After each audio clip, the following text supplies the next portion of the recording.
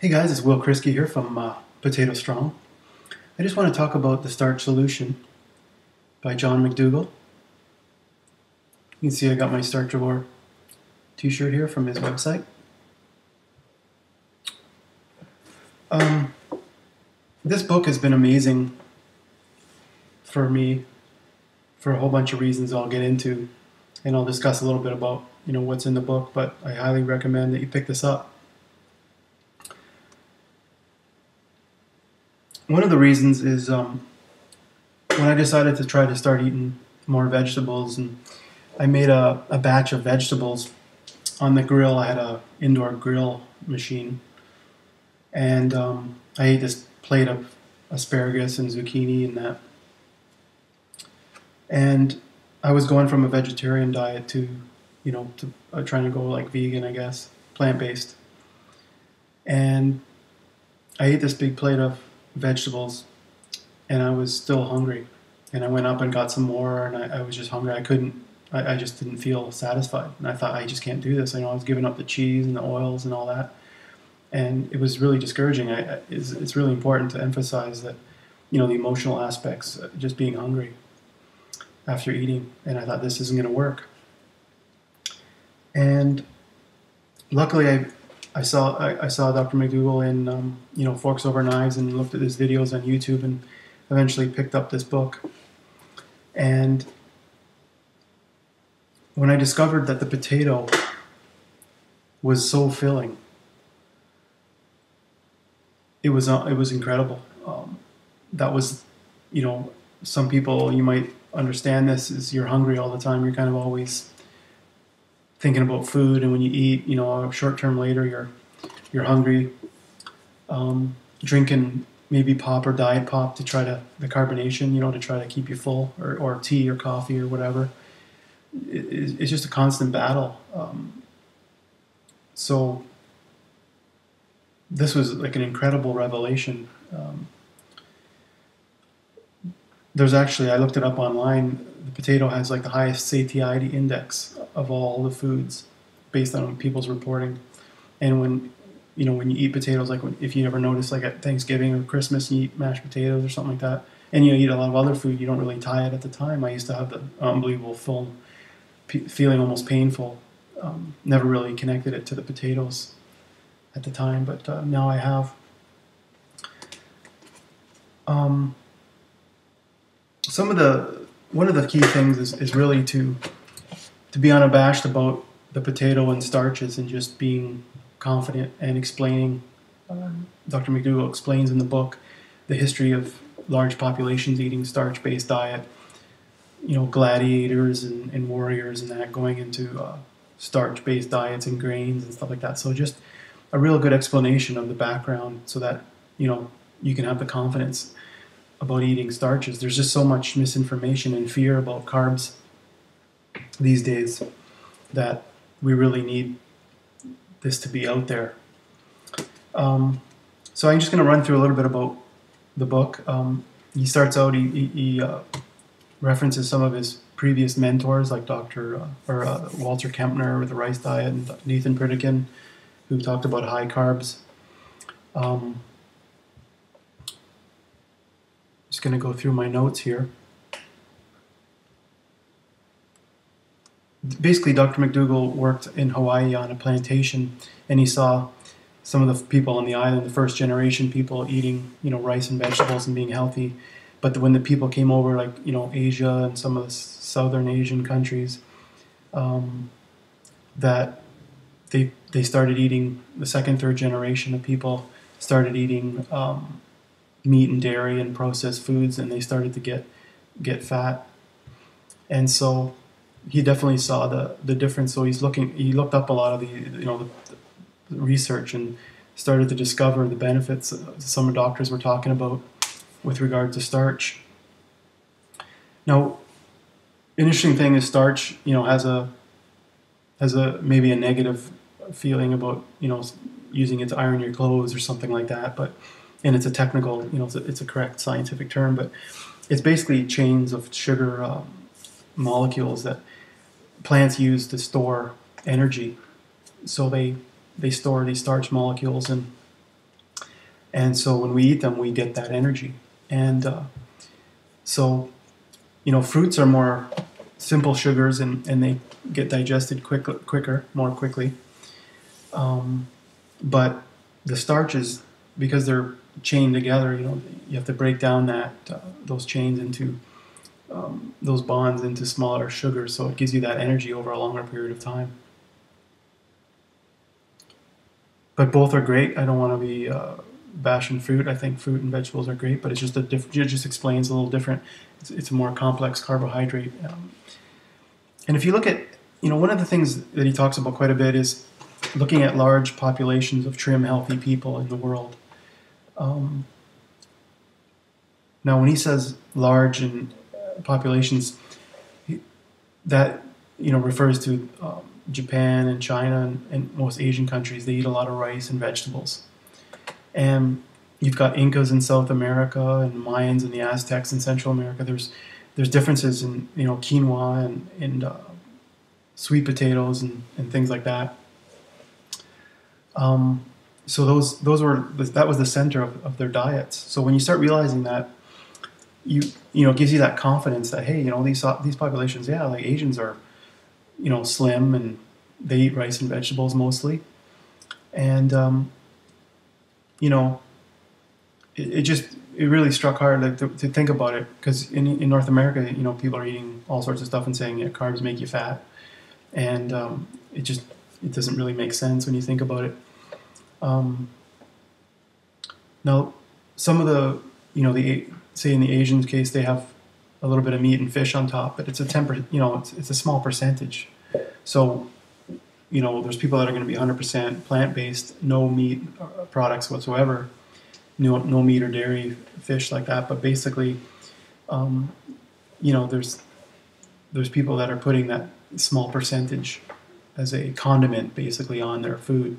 It's not it's not like three times a, day eating tons of meat as their main meal. That's the difference we're trying to get to. So if we want to be a little bit more inclusive um, to people that still want to eat some meat, it's you know the, the point is that it's not the main centerpiece of the meal, which like which it is here. And of course, everyone tend, tends to agree on the processed food, the junk foods, and the you know the, the processed foods, the packaged foods that are out there, ice cream and chips and that type of thing. Um, you know, everybody tends to agree that those are are not great to be eating. So there's you know this chapter goes into a lot of uh, the wealth. If you look at Egyptians and things like that, the kings and queens and the the um, these are the ones the, the ones that were mummified. You know, they were they actually looked at some of their uh, you know examined their bodies and, and found a lot of uh, issues with heart disease and that. Um, and that's because there's, you know, with the wealth came some of the richer diets. And they talk. He talks a lot about these Roman gladiators, and, and that when people would think, you know, they eat a lot of meat or protein, but when they analyze their bones, that the, these guys, a lot of them were essentially uh, vegan diets.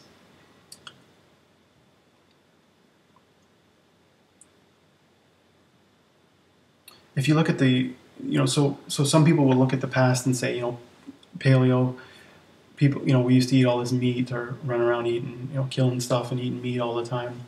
And there's a lot of disagreement. Um, it's it's showing quite a bit now that you know, a lot of times that was a rare situation. You know, it expends a lot of energy, and uh, it's a short short-lived, uh, you know, feast. And um, when we were in the around the equator eating fruit, and then as you go north, being able to eat starchy vegetables allowed us to, to, to move away um, from those areas. And um, if you look, so so people will argue a lot about you know what did we eat in the past, and that's that's a part of it, part of the picture. But it doesn't really, even if somebody ate something, you know, it doesn't mean that we should necessarily eat it.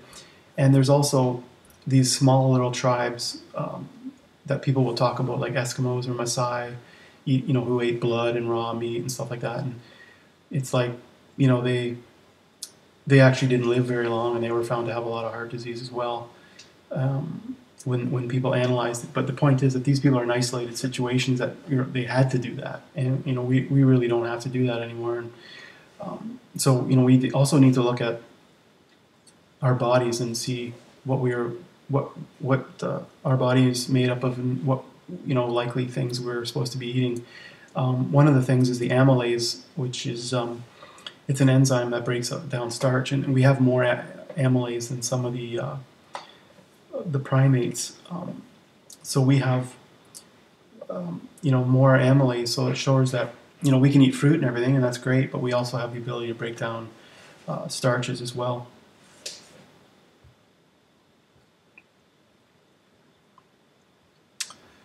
Let's see here.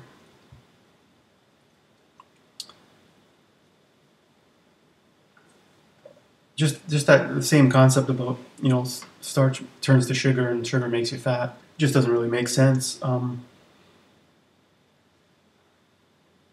Dr. McDougall talked about going to different uh, countries and Peru and, and where they eat potatoes and Mexico, like in the rural areas where they're eating corn, beans, and squash and stuff like that, and they're just not overweight. Um, it just, you know, it's just an ongoing myth. Um, and, and you know, like I talked about the satiety of um, of carbs, of starches, and I, you know, just try it for yourself. Eat some, you know, add a whole bunch of potatoes to a lunch or dinner and uh, see for yourself. And don't you know don't add a lot of fat and butter and sour cream and stuff like that. But uh, one of the things um, that he talks about is carbs turning into fat. What that process is. There is a process, but it's not very common in, in humans. Um, pigs and cows have a better process of turning carbs into fat, and that makes them, you know, appealing for food sources, I guess. But we don't. Uh, there's a 30% loss in efficiency when you're converting that. And if you eat enough carbs over a long period of time, if you overeat, you know, from your daily requirements, and there's people that think that you know Jeff Novick and that that you will definitely gain gain weight over time, but but uh, I've seen a lot of diagrams about glucose and the pathway from that to fat is hardly any of it will, turns into triglycerides. Some fructose, there's a little more that could potentially go to the liver and be and produce triglycerides, but it's generally when it's in you know fruit and uh, in starch that's you know encapsulated with fiber and in, in whole foods. Really, it's it's it's uh, it's it's not that easy for that to happen. So the idea is that um, you know the fat that you're eating is easily stored as fat. There's only a three percent loss to, to to store it. Whereas carbs, you know, there's a 30% loss if it even, ha- and it's not really likely to happen in general. Um, for a lot of the studies that showed that it's just highly unlikely. A lot of the carbs will get the glucose and that will get burned off as heat, stored in the muscles, and and then eventually get burned off as heat. In the book, he challenges people um, who don't really want to go full full bore into this diet is just to to to try, um, like I say, adding a bunch of potatoes to your diet um, every day. Just start smashing in some rice and corn and potatoes, and you'll generally be full and not eat as much um, of other things.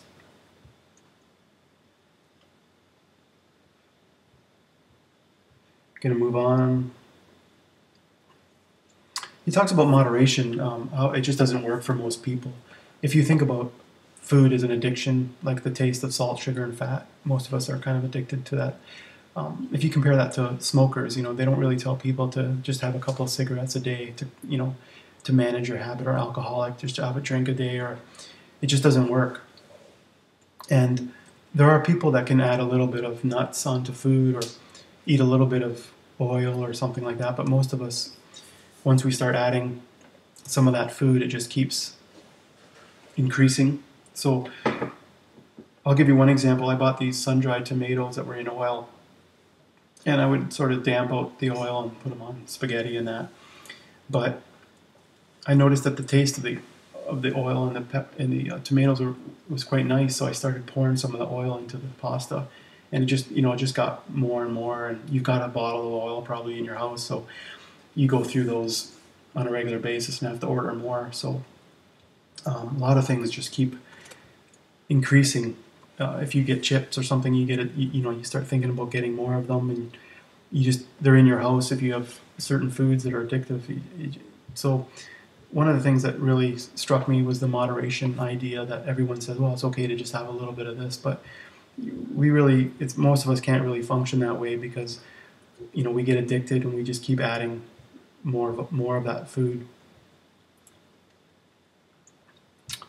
Um,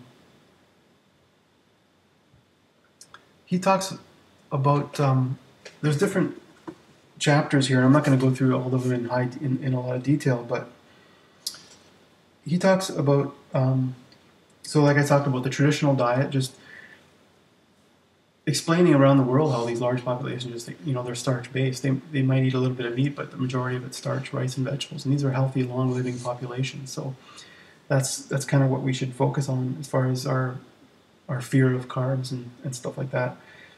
Um, he talks about some of the issues with animal foods, like with the excess protein and um, cholesterol and, and, some of that. He also talks about the USDA and the, some of the, the corporate lobbying and the influence that they have as far as what they recommend people eat. And it's a, it's a very, um, it's kind of a vague, um, you know, they're just kind of middle of the road and, and, and, you know, they want you to still eat your, your milk and dairy and, and there's a lot of influence there from, from the corporations. And, um, you know, just kind of explains that where they're not necessarily out for your best interests and and uh, you know there's the the food diagrams and the the the, uh, the plates and stuff like that. You know eat less they say we just don't really want to talk about eating less. We want you to be able to eat as much as you can of the lower calorie density foods and and not really try to cut calorie you know cut your portions and of this type of food. It's just people can't restrict themselves very long. He talks about some of the environmental impacts. Um, you know, if you're not even interested in, if you if you want to eat meat and you're not really, you know, the health issues aren't, you know, you don't agree with or they're they're uh, not a concern. There's the environmental impacts of animals. People don't realize uh, a lot of the clear cutting of uh, forestry, the water demands, the fact that we feed most of the grain, the soy, and the corn to animals instead of to people. So the efficiency of actually raising a pound of beef. There's the um, the methane gas. Um, just the damage that the uh, not to mention the animals, the abuse. Like because everybody wants to eat animals. Um, they have to have factory farming. So everyone thinks, well, we can have small farms and, and grass-fed beef or something like that. But there's just so much demand. We've got seven billion people now, and more and more are eating meat. So the demand is high. You need the efficiency of the uh, factory farms to produce enough volume for everybody. And that goes with fish as well. So basically, the um, you know the, that that ends up causing a lot of the abuse, and not to mention that the animals are killed at the end of the day, um, which most of us you know wouldn't want to really partake in that that aspect of it.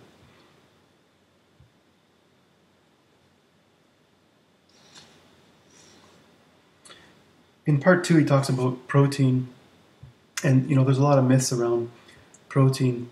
Um, there's a whole bunch of things I could get into, but basically, the you know rural Asians in that they found they consume 40 to 60 grams of protein. So if you're looking at say 50 grams, that's about 200 calories, 10 percent, something like that protein.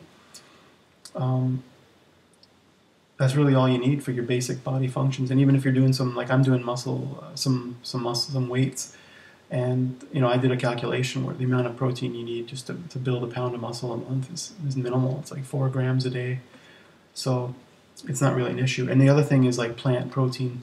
They used to say, you know, they're not complete and they have to be mixed and matched in, in each meal. But now it just shows that the body stores all the amino acids and can make the uh, the proteins that it needs. So plants are fine, full. They got all the protein you, you ever can need. There's there, he talks about fish like I talk about meat. There's also issues with fish, you know, mercury and some of the fat, the uh, farming that's not that great either off the coast.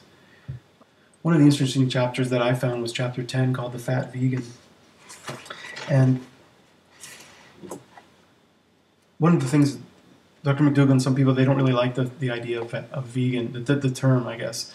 And a lot of people aren't necessarily that healthy as vegans. They eat um, a lot of fat through some of the soy products, um, fake cheeses and sausages. There was these ones we were buying before.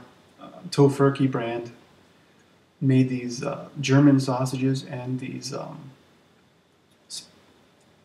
Italian, spicy Italian, and they had so much fat in there when we look back at them. There's ice creams and all sorts of things, and, and you'll see a lot of uh, vegan pages on Facebook and that YouTube where there's like desserts and things like that. So everybody's really excited because they can make a, a vegan version of you know cakes and muffins and pies and everything, but that you know you don't want to be doing that every day. And these, these are typically things that you eat in addition to your meals. So they're just extra calories. I mean every once in a while you, you know everybody wants to have a little treat. But if you get into a daily habit eating desserts and having snacks like that are even if they're low fat there's a lot of a lot of the uh, i make some of the recipes that don't really have much fat but they have sugar they'll have maple syrup they'll have brown sugar agave or whatever these are just lots and lots of extra calories. Um, so the, the idea is that, you know, just because you're vegan doesn't mean you're necessarily eating the healthiest way. Um, I'm just going to briefly go through a little bit more. He talks about supplements, salt and sugar. Like he's not really worried about salt and sugar that much because you know, when people are gaining weight, they're going to say, well, it's the, it's the salt in the food or the sugar, all the sugar they put in these packaged products. And um, when you when you eat whole foods, you know, the salt intake goes down dramatically. And you have to watch, like, there's some salt in uh, cans of beans and, um, you know, tomatoes, spaghetti sauces, and stuff like that. But you can, you don't really want to be adding salt in the cooking process, but you can add a little bit of taste on top if you want. But your your your body adjusts, your your taste buds change to uh, less salt. But it's not really the you know thing that people should be focusing on. And then you know the part three, a lot of it is practicing the starch solution, and um, gets into all sorts of recipes. One of the things that um, that's really important is to be to make sure you're satiated. So what I do basically in the ideal scenario is um, I focus on the calorie density of the food. So lower calorie density foods. I don't count calories or anything like that, but it's like fruits and vegetables and you, you get into this about up to the starch area, potatoes and things like that, and you're at a pretty good beans start to get a bit higher in calorie density, and then the ones that if you want more, if you want a rapid weight loss or you know you get stuck, you can sort of you, you know you might be a little bit sensitive. You can watch some of the pastas and the refined flours. So that would be like bread, even even like whole grain bread and stuff like that. It's been broken down into these flours, so they're higher density calories. It's not that it's bad or anything like that, but they're just higher density calories. So it's easier to overconsume and get above your daily you know requirements. So the the idea is basically yeah, just eat lower calorie density and um, and you know make sure that you eat a lot of starch until you're satisfied. So if you reach a point where you're maybe a little bit plateauing for a period of time, this is going to take a while. You have to be patient. So don't expect you know miracles. But I've actually had quite a rapid drop in weight. And then as it settles down, you you know you, you can sort of try to maybe add a little bit more vegetables and fruit I mean, a little more vegetables and, and, try to eat more salads and things like that. Um, just to kind of reduce a little bit of the starch on your plate, but you still want it to be half or you know a third, and make sure that you're you're full. So do a lot of observation. Like if you if you find that you eat a meal and like an hour later you're, you're feeling hungry again, then you know you think about the meal you ate and say, well, I didn't really eat enough um, starch. That's what I usually find. So for breakfast, what I do is I eat a, a big bowl of cereal. I have uh, rolled oats. So I don't I don't make oatmeal. I just use them cold in uh, banana milk. So I, I use enough that uh, with some shredded wheat and some fruit, veg, uh, strawberries and banana to make sure that you know I'm full. I usually eat. I usually eat breakfast and lunch about three hours apart. So like say from nine and then twelve, I'll have lunch, and that's usually three hours or so That usually means to me that I've done a good job as far as the starches. And then for lunches, I'll have a lot of like quartered potatoes, mashed potatoes, at least half a plate, and veggies like corn and broccoli and asparagus or whatever. Um, dinners, I have I try to have a big salad, and then you know I've got all my recipes on the website from shepherd's pie to uh, tacos and all that. You can check out potatostrong.com. But each each meal, I want to make sure that I'm full. You know, I'm satiated for for a good three hours. Um, some a lot of times in the evening, I I'm not usually hungry, but it's you just have a little bit of a a desire for something, maybe a sweet. So I'll have uh, a fruit. So I'll usually eat an apple. I like the um, Honey Crisp, or an orange or a grapefruit, something like that. Sometimes in the afternoon, between lunch and, and dinner, if I didn't necessarily eat enough potatoes, uh, I might get a little bit hungry. And what I try to do is eat some potatoes. So I have a bunch on hand, like quartered potatoes in the fridge. I find that works best for me, so I'll snack on a little bit of quarter potato. I might have some gravy in the fridge. I'll just eat it cold, um, just to just to tide me over. So I'm, I'm trying to avoid snacking on like uh, crackers and stuff like that. So we we don't have any of that stuff in the house. Um, for the past six months, I haven't been in a restaurant or fast food place. So there are some ways to deal with those, but I just I've avoided them. And then in the house, we have got rid of everything uh, that was um, any oils and um, you know the obviously the, the stuff that we were eating before cheeses and mayonnaise and all that stuff. But any kind of fattening foods. Right now, I want to I still want to get down to a lower fat level. So um, minimizing the nuts. Um, like no snacking on those or anything, and then like avocado. I've had over the past six months of you know a few times we put some walnuts on uh, of some muffins, but lately I'm getting I'm, I'm a bit stricter and also uh, like avocado just until until I get down a little bit more and then I'll see if I can add a little bit here and there and see how it goes. But that can be a slippery slope back up to uh, gaining weight again. So okay. Anyways, I wanted to just point out that I, I really can't emphasize um, how important this book is to me on a few levels. One is realizing how filling the potato is when you're when you go you know fruit or vegetable based and you just you're hungry salads and that you're just not not satiated you're hungry you might give up and go back to a meat or vegetarian diet. Um, so discovering the potato filling was amazing. Discovering the history uh, of all these large civilizations that ate starch based and making you realize you know that carbs are not really a, the problem. And there's people out there that talk about it's just you know calories in and calories out and that's true. But i think that one thing they don't realize is that if you're eating more meat dairy and, and some of the processed foods the density of the calories is so high that it's easy to over to exceed your daily requirement. So I would rather eat a lot more food at a lower density, like potatoes and mashed potatoes and gravy and tacos and stuff like that. And even, you know, the the food that we eat, um, it just allows me to eat more and be more satiated.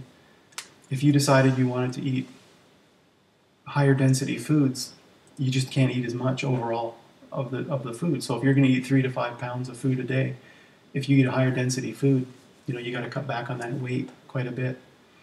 So that's just you know there's different ways to do it. If you if you're just purely basing it on calories in and out, um, there's different common you know percentages. But for me, this is working great because I can eat and be and be full. A lot of people are just trying to restrict their calories. It just doesn't seem to work. They try to eat smaller portions. They're always hungry, and then eventually they just go crazy. So hope that helps. And uh, anyway, I love the book, and I hope you guys pick it up. And uh, I hope you guys do this and get you know get rid of all your meds and lose weight and feel really great. And uh, I'd love to hear from you. So if you have any comments, please post them on the on the video. See you guys.